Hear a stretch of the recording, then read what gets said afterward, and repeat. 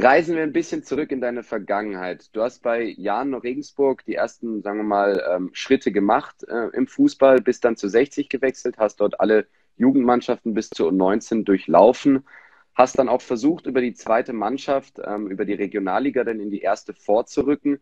Dort hat es aber am Ende nicht ganz so geklappt, nur vier Kurzeinsätze dann in der zweiten Bundesliga. Was hat dort nicht so funktioniert? Ja, das ist halt ähm, der Sprung, sage ich jetzt einmal, vom äh, Jugendfußball dann in den Herrenbereich, der ist natürlich schon riesig. Ähm, vor allem, wenn es dann halt auch in die zweite Liga, ähm, wo es damals die erste Mannschaft gespielt hat, der Sprung ist dann schon enorm. Also ich habe zwar schon hauptsächlich in der Regionalligamannschaft gespielt in der Saison, ähm, aber es ist halt doch nochmal eine andere ähm, Schippe, da, wo du drauflegen musst, ähm, im Vergleich halt jetzt in der Regionalliga und in der zweiten Bundesliga. Ähm, drum, ich bin zwar froh, dass ich damals die vier Spiele machen durfte, ähm, aber so richtig durchsetzen konnte mir zu dem Zeitpunkt dann nicht. Ich denke, dass äh, vor allem äh, die Zweikampfhärte, die macht äh, am meisten aus und die Handlungsschnelligkeit einfach. Ähm, es geht alles äh, viel, viel schneller. Schon alleine ähm, das Tempo ist im, im ganzen Spiel über ähm, deutlich schneller. Ähm, und dann halt im direkten Zweikampf oder so ist halt schon nochmal äh, ein Riesenunterschied zum, zur Regionalligasaison oder Drittligasaison, das muss man echt sagen. Du bist ja dann damals zu Frankfurt gewechselt, wolltest Spielpraxis sammeln. Von Frankfurt ging es dann zu Chemnitz und auch zu Darmstadt. Ähm, da hast du aber immer noch nicht so richtig Fuß fassen können. Ähm, was war da los? Es sind ja halt immer viele Faktoren. Mein, mhm. äh, in der Zeit ähm, war einfach dann der Schritt wieder, also war, Frankfurt war ja damals zweite Liga. Das ist ja immer dann so, ähm, ja, da habe ich neun Spiele gemacht gehabt. Das ist jetzt nicht, nicht die Welt natürlich, aber man muss sie ja trotzdem erst einmal machen. Und von dem her bin ich froh, dass ich die Erfahrung ähm, sammeln durfte. Äh, mit Amstadt sind wir ja sogar aufgestiegen dann ähm, in dem halben Jahr, wo ich dort war, in die ähm, zweite Bundesliga. Von dem her, ähm, das sind auch Lebenserfahrungen, auch wenn ich jetzt da eher weniger äh, gespielt habe. Also von dem her nimmt man einfach sehr viel mit und äh, da bereue ich überhaupt keinen Schritt. Nach deiner Zeit außerhalb von Bayern bist du dann wieder zurückgewechselt und zwar nach Regensburg in die alte Heimat. Ähm, war das so ein bisschen, dass du so ein bisschen, sagen wir mal nicht Heimatweh hattest, aber oder gab es da andere Gründe, wieso du wieder zurück nach Regensburg bist? Äh, in Regensburg da hat einfach das ähm, Gesamtpaket passt. Also der Verein wollte mich unbedingt haben. Äh, ich komme 50 Kilometer äh, von Regensburg, bin ich geboren. Ähm, die Familie ist in der Nähe. Ähm, sportlich äh, ist absolut äh, ja, was entstanden in Regensburg, auch zu der Zeit, da ist ja gerade das neue Stadion eröffnet worden in dieser Saison dann. Ähm, von dem her war das äh, wirklich äh, eine richtig tolle Zeit und auch ein richtig toller Wechsel für mich jetzt, weil es äh, persönlich sehr, sehr gut gelaufen ist. Wir sind ja da zweimal hintereinander gleich aufgestiegen.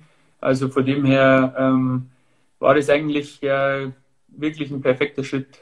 Vor drei Jahren bist du dann wieder zurück zu den 60ern, bist sogar wieder aufgestiegen mit ihnen in die dritte Liga. Dann kamen auf einmal kleinere Verletzungen dazu und auf einmal warst du nicht mehr im Kader. Ähm, kam eben auch deshalb der Wechsel dann zu Bayreuth jetzt? Ja, also hauptsächlich war es so, weil ich einfach äh, von den Spielzeiten her ähm, einfach wieder regelmäßig spielen will. Das ist, äh, das ist der Hauptschritt, sage ich jetzt mal, unter sportliche Perspektive hier ist.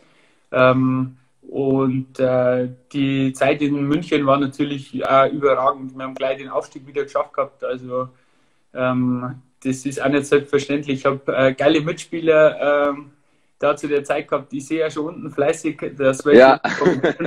Und äh, ich vermisse ja auch alle, also besonders in Dani Wein. Ähm, da haben wir immer sehr, sehr viel Spaß gehabt. Wie zufrieden bist du mit deiner Zeit bei 1860? Ja, insgesamt, äh, gut, ich habe neun Jahre für den Verein gespielt. Von dem her, ähm, der Verein ist, der ist in meinem Herzen, das muss ich echt sagen. Also ähm, da habe ich so viel, also die meiste äh, von meiner Fußballlaufbahn habe ich äh, bei 60 ähm, einfach erlebt. Und äh, deswegen ähm, ist er absolut im Herzen. Und ähm, wir haben das geschafft, dass wir in die dritte Liga aufgestiegen sind. Das war das absolute Ziel und das haben wir geschafft. Und von dem her habe ich da einen großen Teil dazu beitragen. Und die anderen zwei Saisonen dann in der dritten Liga habe ich auch um die 20, 25 Spiele gemacht, in denen ich von dem her, ja, ist das äh, absolut gelungene Zeit. Jetzt kam der Wechsel zu Bayreuth. Auf was hast du dabei geachtet jetzt bei dem Wechsel? Ähm, was muss da für dich stimmen? ja, hauptsächlich, dass das äh, Verhältnis mit dem Trainer stimmt. Das äh, war ja auch also schon ein Hauptpunkt, sage ich jetzt mal, was sehr, sehr wichtig war. Ähm, und da ist hier mit Timo Rost äh, einfach ein Trainer da, der ähm, ja, ein, ein, Spieler überzeugt und der halt einfach auch ein, ein sportliches Konzept ähm, hier entwickelt und oder hat, sagen wir mal so und äh, ja, den Verein in profi äh, professionelle Strukturen umwandelt. Und das ist halt äh, sehr, sehr wichtig. Und das gehört ja einfach dazu. Und von dem her, ähm, ja, hat das alles gut passt und deshalb haben wir auch für Bayreuth entschieden. Was sind denn noch deine persönlichen Ziele? Willst du nochmal Zweit- oder auch Drittliga-Luft schnuppern oder auch im DFB-Pokal möglichst weit kommen?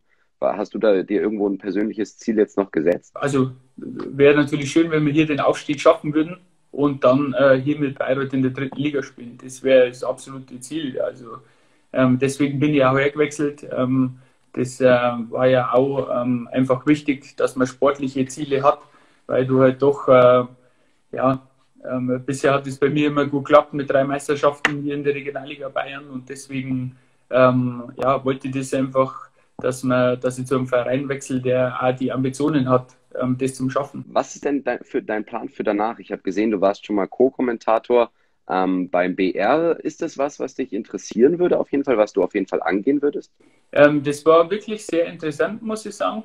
Ähm, da habe ich jetzt, äh, also zwei Spiele habe ich schon mal ähm, beim BR jetzt gemacht gehabt und äh, eins sogar als äh, Co-Kommentator live im Stadion in Regensburg war das damals. Hat mir sehr viel Spaß gemacht. Ähm, das ist einmal von einer ganz anderen Sicht. Äh, ähm, wirklich interessant, weil du hast einen ganz einen anderen Überblick ähm, aufs Spiel.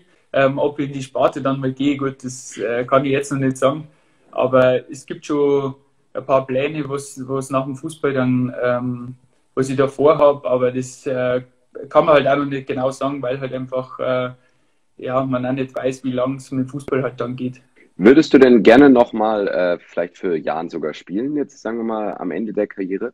das, das wäre ein Traum, wenn, man, wenn ich nochmal für das, also mit dem Trikot auflaufen dürfte, aber ähm, ja, wird man sehen, ob das irgendwann nochmal überhaupt äh, zustande kommt. Aber ähm, war eine tolle Zeit, ich komme auch daher und von dem her, genau, wollen wir ja nach, der, nach dem Fußball dann auch nach Regensburg äh, zurück. Also das ist schon so unsere Base, sage ich jetzt einmal.